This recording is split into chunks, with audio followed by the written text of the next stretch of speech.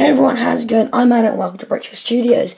Today is going to be my first trip to LEGO store of 2020 and of the new decade.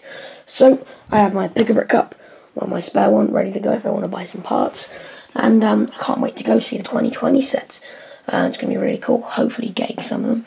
Probably a lot of the small ones, I'm actually interested in the small ones, actually quite a lot this time. So, um, I hope I can't wait to just go there. But also, before I get there, I have got two really cool things to actually show you, and um, they, I think they are quite cool. So, um, you know, in Toys R Us, what used to be of Toys R Us, there were those massive Lego display units where you could press lights and spin them around and whatever. I now have one of them, and then I have another over there. My Ninjago one. But this one is my favourite one, it's the biggest one. It's two 2019 space sets. 60226 and 60225. But it also has a special feature. If I can do it. It lights up. So there's a massive cycle and it's really cool. There's a button down here you can press. That jumps them. It's just really cool. And it's a really nice collector's piece and I really, really like it. But also going over to the Ninjago it's two spinners. And it's actually bolted to my shelf like it's like a clamp sort of thing. You can see that it's like kind of clamp. It's really cool. It's really really awesome. So I just thought I'd share, share this with you guys quickly. Um, so yeah, I'll see you in the Lego shop when I have to buy some new 2020 sets. Thank you.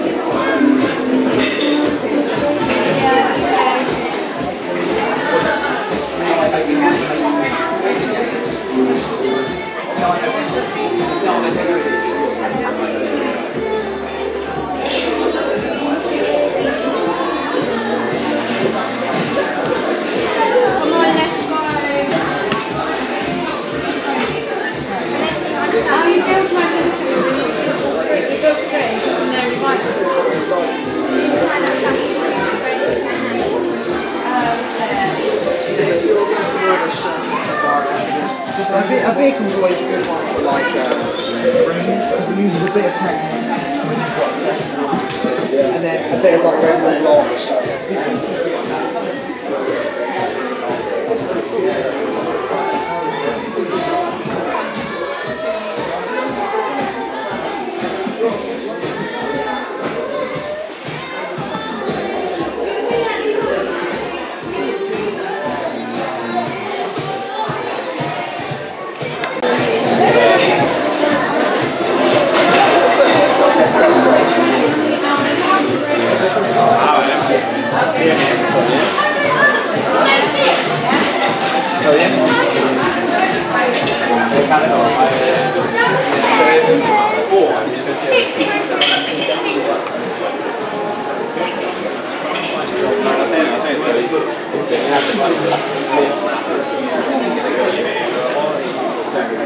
哎？